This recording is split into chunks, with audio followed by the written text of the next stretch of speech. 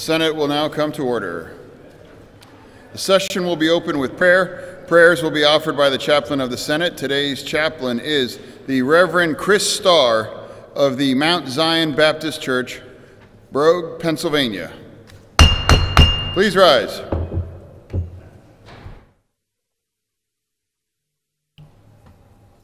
Shall we pray?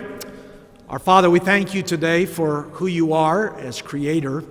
And Lord, thank you for making us. I want to thank you today for these public servants that have given their lives, Lord, to work for the people here in our Commonwealth.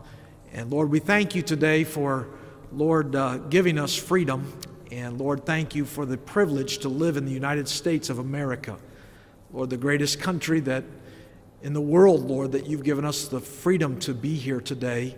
And Lord, the health and Lord, the breath.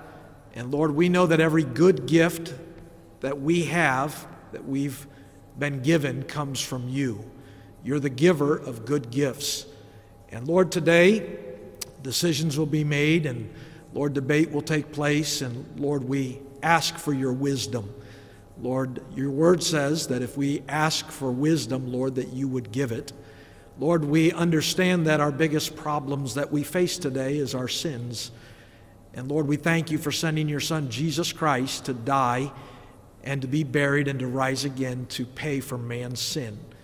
Lord, I pray today as these men and women meet, Lord, that, uh, Lord, they will understand that what they do is before you today. Lord, it's before the state of Pennsylvania and, Lord, our citizens, but Lord, more importantly, it's before you. And Lord, I thank you for them. I pray, Lord, that you will guide their minds and their thoughts on this day. In Jesus' name, amen. Thank you, Mr. President. Mr. President, I rise to introduce our guest chaplain, Pastor Chris Starr from the Mount Zion Baptist Church, located in the Brogue.